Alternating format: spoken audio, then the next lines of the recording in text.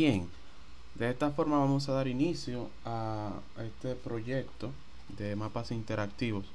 Este es el primero de una serie de videos donde vamos a ver paso por paso cómo hacer mapas interactivos. Eh, vamos a ver las librerías a utilizar, dónde guardar, cómo guardar y todo lo que tiene que ver con el desarrollo de estos mapas interactivos.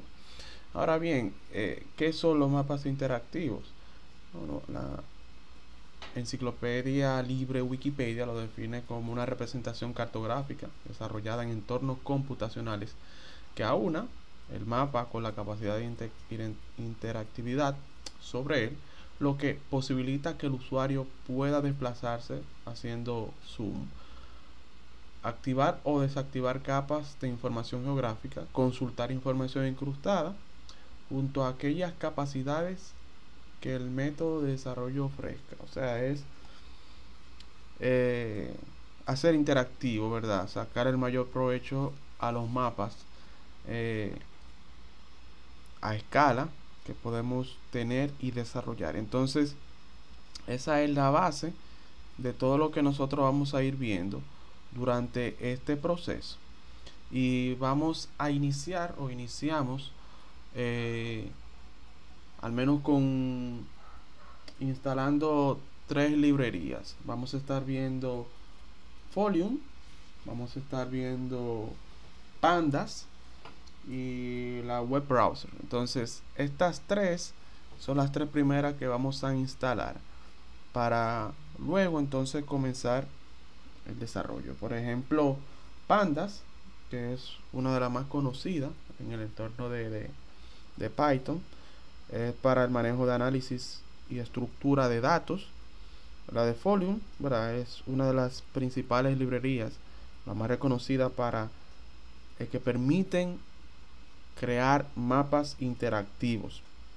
Y la web browser es la que permite esta, este mapa en base a Leaflet eh, JavaScript, eh, entonces ejecutarlo directamente en el navegador. Entonces vamos a estar viendo a partir de ahora la instalación de estas librerías, estos paquetes, y luego entonces nuestras primeras líneas de código. Pues eh, de inmediato vamos a instalar nuestras librerías. Las librerías, estas librerías, para poder trabajar en consecuencia, al unísono, es importante que ustedes la instalen durante todo el proceso, la instalen en el mismo environment o en el mismo entorno de trabajo.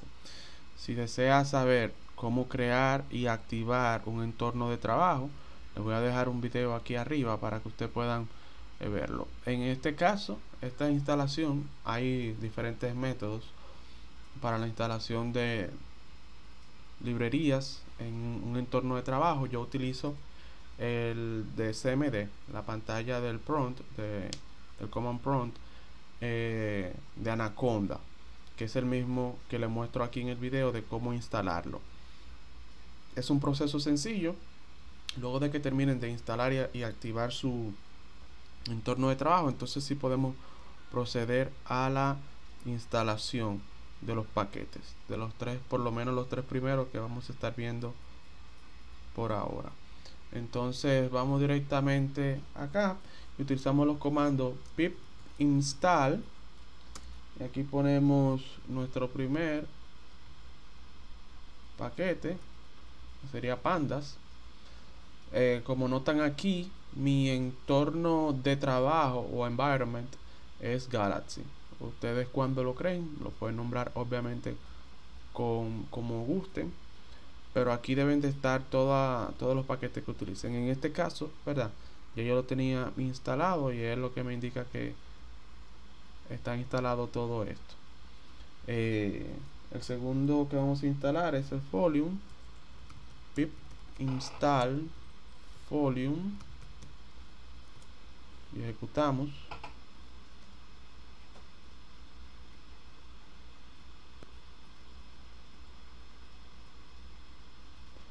Muy bien, este es el segundo que vamos a instalar. El tercero que vamos a instalar es el web browser.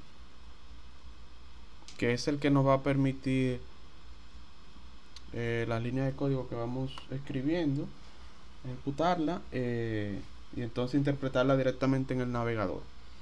Eh, aquí ponemos pip install pycopy guion. Web. Browser. Y esperamos que lo instale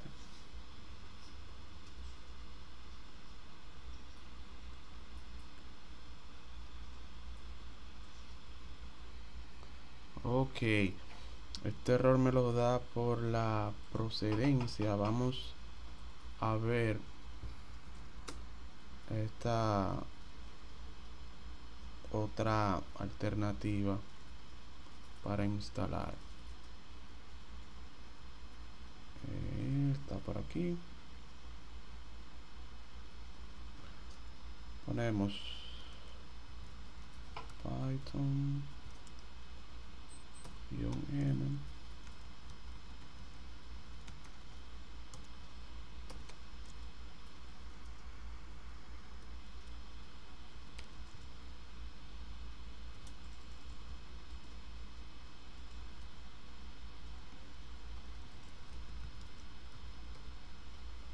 y cerramos comillas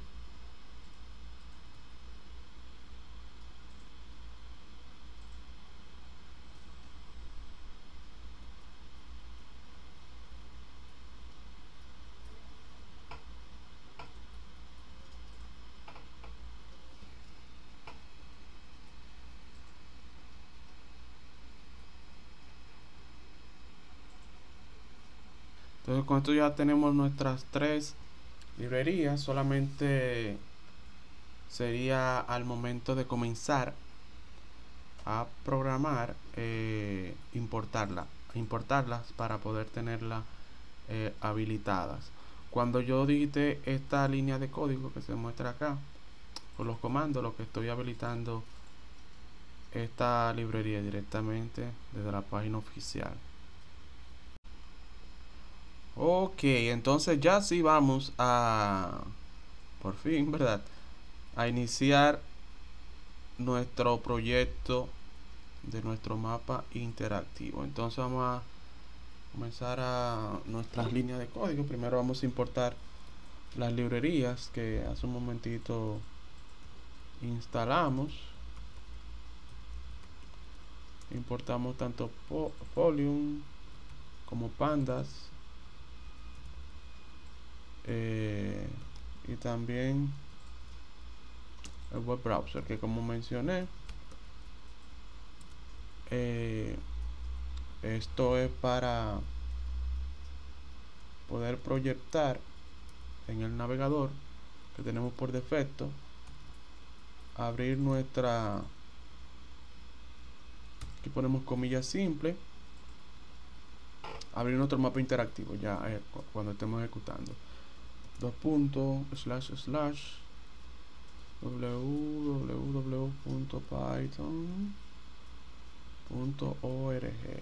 aquí estamos llamando directamente desde la página oficial verdad esta librería importándola.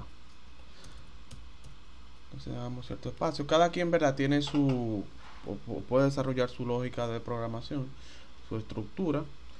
Eh, aquí entonces vamos a nombrar esta variable que sería mapa desde folio y vamos a decir esto es un mapa. Entonces en la location eh, aquí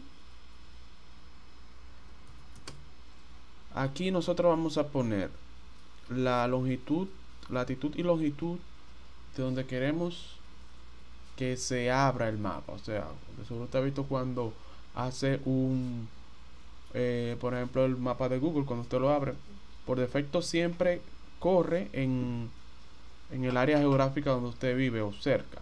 ¿Verdad que sí? Esto lo hace por la geolocalización. Esto mismo nosotros vamos a hacer ahora desde nuestro mapa interactivo. Entonces, ¿cómo lo hacemos? Le decimos al, al, al programa, mira, yo quiero que tú me corras esto, me lo corras eh, aquí directamente en esta ubicación. Entonces, para saber quizás la ubicación nuestra, hay diversos métodos. En el video que le dejo aquí arriba yo mostré, por ejemplo, cómo sacar del mismo Google Maps eh, una ubicación. También hay métodos para sacarlo de, o, traerlo desde WhatsApp. El location se puede importar a Excel. A varios métodos. Yo utilizo, he utilizado por lo menos dos en videos de una serie anterior. Se lo voy a dejar acá. Y por ejemplo, para la ubicación actual de donde estoy, que sería Dominicana, vamos a poner esta numeración, que es la longitud y la latitud. 18.510 9567. Es importante ser específico, ¿verdad? Porque mientras más específico, mientras más detallado, entonces mejor eh, ubicado estará el mapa. Entonces, aquí yo tengo, y tanto como tanto los puntos como las comas y los signos de menos. Todo esto es importante porque le puede o le va a lanzar una ubicación que no es la que usted está buscando. Entonces, algo que nos faltaría aquí sería el, el zoom de inicio, que aquí usted le está diciendo cuando tú abras, tú vas a estar a esta distancia. O sea, la vista aérea va a estar a esa distancia, que sería un, un zoom de 5 niveles. Entonces, aquí vamos a guardar nuestra variable. Esto lo guarda en la ruta de donde tenemos nuestro vamos a abrir comillas simples donde tenemos nuestro environment. O usted puede seleccionar igual usted puede cambiar aquí mismo en Spider si está utilizando Spider u otro ID puede seleccionar dónde se, se guarda. Entonces aquí vamos a poner a decirle eh, al browser que cuando él termine de guardar entonces tú lo vas a abrir en mi mapa que es lo que vamos a ver en un momento .html entonces aquí rápidamente tenemos importamos nuestras librerías. En este caso específico la de web browser la traemos de la página oficial eh, y básicamente entonces tenemos un mapa con una ubicación geográfica longitud y latitud el zoom vamos a ver cómo se ejecuta guardamos nuestra variable y ejecutamos nuestro mapa. Entonces vamos a correr esto ahora para ver cómo se ve. Aquí está cargando el mapa. Ustedes ven. Entonces aquí tenemos eh, el mapa de República Dominicana. Si ustedes ven, está quizá un poco distante. ¿Cómo nosotros podemos variar o acondicionar esto? Bueno, vamos de nuevo aquí a nuestro nuestra línea de código y en vez de un 5 vamos a poner un 12, que más o menos la distancia estándar, o que se ve por lo menos ya a nivel de provincia, municipio. Eh, y ejecutamos nueva vez. Ustedes ven, ya aquí se ve el contorno de lo que es el Gran Santo Domingo, las provincias, ya fue más específico. Igual si usted quiere ser aún mm, más específico, podemos ponerlo a un 18 en esta misma zona geográfica y vamos a ver hasta dónde llega.